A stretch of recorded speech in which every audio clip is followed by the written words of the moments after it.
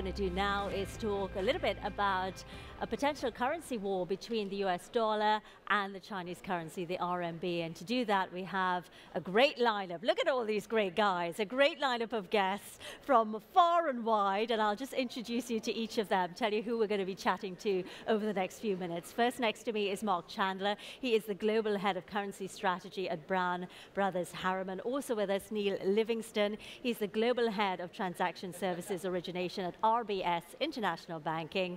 Atsushi Takeuchi, head of Center for Monetary Cooperation in Asia at the Bank of Japan. Trevor Williams is also with us. He's the chief economist for wholesale banking and marketing at Lloyds Banking Group. And I used to interview Trevor many years ago, uh, every week practically, on both CNBC and Bloomberg, and he looks exactly the same. So Trevor Williams, nice to have you with us. And Yingqiao Geng is the Director of Research at the Fung Global Institute. Gentlemen, thanks so much for joining me this morning everybody now is, I mean, we heard that de uh, debate with uh, Larry Hatheway, the chief economist at UBS. I don't know if you all had a chance to hear that a couple of days ago, but he was saying, look, you know, every time I have uh, a conference at UBS, I ask all these leading bankers from around the world, will the dollar actually prevail as the currency of choice in the international monetary system? And he says, so far, about 40% of people, it always comes up, yes, the dollar will stay.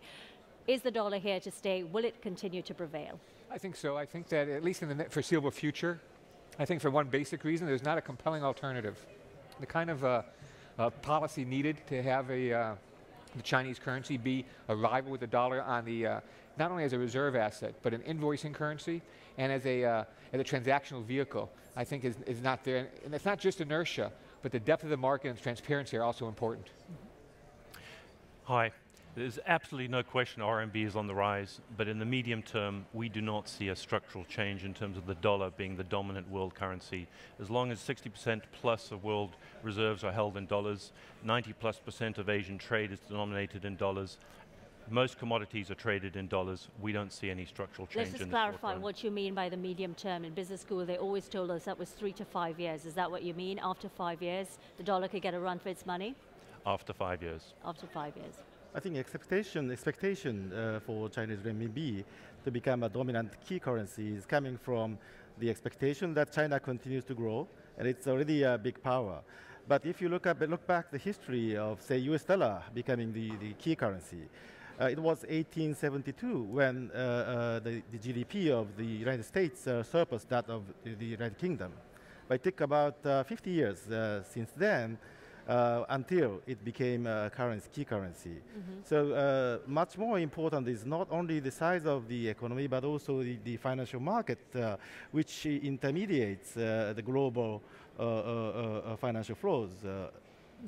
yes, I mean, I would absolutely agree with that. I think that not only does China have to surpass the US in terms of its share of global GDP, which it hasn't done, and I don't think it will do it for at least another de decade, but it will then have to have an internationalized uh, global economy which allows free movement of, uh, of capital as well as uh, goods and services, and that's a long way off. So I think um, it'll be many years before China's currency will surpass that of the US.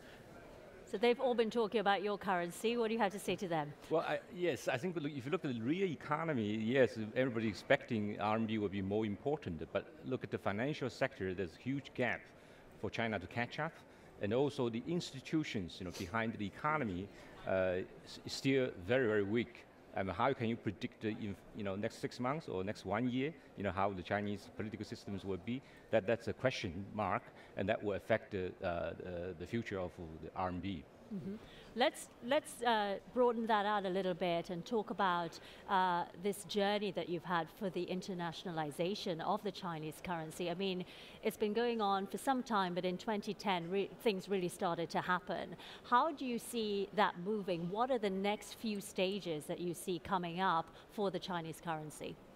Well, I think uh, uh, uh with the volume of trade, uh, there is a necessity for RMB uh, to be normalized, just like uh, you know yen and euro. You know you have to use it. So China still uh, is in that stage, and I think that process will go very fast. Mm -hmm. But it's very different from uh, becoming a reserve currency, uh, because that requires really predictable political so, economic institutions. I think it's really only uh, the issue of the internationalization of renminbi, I think, is greatly exaggerated. Uh, the, yes, the, uh, the PBOC has uh, lines that are swap lines, but none of them have been used. Uh, there's a, a, small number of banks, a small number of countries that have adopted the renminbi as a reserve asset. I think uh, Bank of, Ch uh, Bank of Japan has maybe have uh, gotten permission to buy some on Nigeria. We're talking about a very small level, and even when it comes to trade for China, when, it, when the trade is invoiced in renminbi, it's primarily the imports, mm -hmm. not the exports. So it's still very, it's still a very, a very early on in what could be a long-term game. I mean, absolutely, it's a long-term game. I think typically uh, currencies develop when the country begins to internationalize its economy and the companies that go abroad need to secure the supplies in their local currency and then the influence that they have in the countries that they're operating in might want to then use that currency as well because it will ease the transactions with that company. So uh, in the case of China in Africa, for example, in some cases they'd want to use the renminbi as a, as a means of uh, intermediating um, the uh, transactions that are taking place. But that takes many, many years. And as was said uh, by my colleague to the left, uh, the fact is that it will take many years of an open institutional setup, which China does not have, which it's a long way from having, before there's any chance of the renminbi becoming an international reserve currency. So no, no, disagreement with my panel colleagues here, but let's be open. The reason we're really having this debate is we've been through a massive financial crisis. We're now in a period of economic fragmentation and, and potential stagnation, mm -hmm. and the world economy is flooded with excess liquidity, US dollar liquidity. Mm -hmm. So that is what is putting so much pressure on the world's monetary system. and this is why that this term currency war, I think it was the Brazilian finance minister who, who made the comment, this highly emotive, highly evocative comment, was made, and that's why we're having this debate. But the, the gentlemen are absolutely right. Structurally and longer term, you have to differentiate between commercial flows, trade business, the in broader investment uh, structures, long-term infrastructure and so forth, and then actually running a global economy based on a currency. Those are very, very different propositions. I wonder how much the, uh, this global liquidity problem, I wonder how much of it is really a problem for the world. I mean, the US is a big, uh, a big trade deficit, which means we're a net importer of capital. So it's not capital leaving the United States going to the emerging markets. And what's really the issue is many of these countries, uh, not only the uh, emerging markets, but even some developed countries, won't allow this adjustment process by which the weakness of the economy is hit by the crisis, as you mentioned, uh, these other countries are not letting their currencies appreciate. Mm -hmm. And so the war, the so-called war, is really, a, is really a question of this global adjustment process. That's because America exports inflation all over the world, though. That's, uh, why, yeah. that's why. yeah, I think uh, for Chinese authority, they have a good reasons to go step by step uh, to internationalize uh, their currencies. Uh, I think offshore renminbi market is, is a good pilot project for them which is also uh, coordinated with the Hong Kong monetary authorities. Um, so the reason why they have uh, they're trying to uh, open up uh, this uh, the uh, uh, access to the, through this Hong Kong uh, is they want to really promote the transactions denominated in renminbi, especially for trade finances. Um, because uh, they see actually the cost of uh, using the US dollars in many ways. Uh, you know, sometimes really after the crisis, dollar funding got so expensive that the access for the, the Asian banks were restricted. So, uh, and also uh, uh, other reasons, you see, if you are dependent upon the US systems, then I think the Chinese may feel a bit uncomfortable, you see, having seen what's going on in, say, in Iran and so on. Do you want to come back? Uh, yes, uh, I think that the Chinese want to uh, really the, the currency to serve the real sector, you know, the trade, you know, the economy, instead of, uh, you know, the financial speculations. So there's a tremendous concern about uh, uh, using the US dollar because that's somehow, you know, the, you have zero interest rate, and that's very different from the reality in China with very uh, you know, rapid urbanization, you know, industrialization, very high return on investment.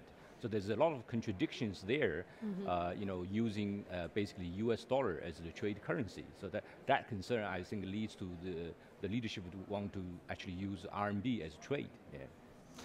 I mean, I, I think there's a, two aspects of this we shouldn't get away from. One is that the US uh, economy remains the world's most dynamic country. And recent events, for example, the um, new technology of access to energy, fracking, which uh, unlocks uh, uh, gas and unlocks oil means that I think that uh, they probably start exporting uh, net energy over the next few years, which will also support the dollar. And secondly, of course, the other thing is that the productivity gains that they've been seeing recently will also help to support the US uh, uh, economy. So I think actually they're on the cusp of a bit of a rebound. But the other underlying backdrop to all of this is the fact that if you want a world where you have free movement of capital, which you need in order for investment flows and supply chains and the, the productivity that you need to drive global growth, then you need open capital markets as well. Um, and, and, that does support the, the dollar for the time being because there's no alternative. Mm -hmm. And the speculative aspect of it, well, I'm afraid that's just part of what free movement of capital means. Markets will look for where there are opportunities, and they don't look if there are no opportunities there. So you have to take that on board when thinking through how these currency flows have to take place globally. How much does this conversation change that we've been having if we've got Obama or Romney in the White House? How much does this conversation change? I think that on a macroeconomic basis, and especially from an international point of view, I'm not sure that there's much of a difference from uh, a dollar policy. I think that uh, you'd see that uh, before Obama got elected in 2008, uh, him and his uh, team also questioned about the Bush administration, whether they're hard enough on China, mentioned about manipulating of currencies. And I think that in the U.S., we'd, among politicians everywhere perhaps, a difference between declaratory policy, what they say, and operational policy, what they really do. I, I think the, uh, the, the, policy levers available to whoever wins the White House are quite limited. Uh, and, and probably the, the more you know, operative decisions are uh, what happens in terms of macroeconomic uh, change and, and does the world economy revive and come back to some sort of growth, uh, growth trajectory. Uh, that to me is far more fundamental than, than who is guiding the short-term political agenda. Mm -hmm. I mean, in any case, the US and China have to develop a constructive relationship and one thing which is uh, very much overlooked is actually in real effective terms, uh, renminbi has been appreciating. Mm. Yeah. So, uh, and also it's not very clear whether uh, the exchange rate itself can heal all the problems uh, among between the two countries in terms of trade deficits and surplus. Yeah, I mean, I couldn't agree more. I think that with, with regards to the election, I don't think it makes a difference externally. I think that the final debate between the two candidates showed remarkable unanimity about uh, foreign policy. So I don't think that the foreign policy aspects will change at all. I think there's much more uh, uh, difference between the candidates in terms of their social uh, and versus uh, conservative type domestic policies but uh, externally very little different. Mm -hmm. um, so I don't think that will mean anything for the currency. Yeah, I, I think it's more um, the the debate in in the election is more rhetoric. Mm. Uh, in uh, real uh, sense, uh, the, the, the two countries, U.S. and China, has tremendous uh, you know mutual benefits and a tremendous stake you know, in, in, trade relations. And actually it's very, very solid and growing very, very fast. Mm. And usually never mentioned in the, in the election mm. Okay, well, we'll leave it right there. Thanks so much to all of you for joining us today. It's been a pleasure. Enjoy the rest of your time here.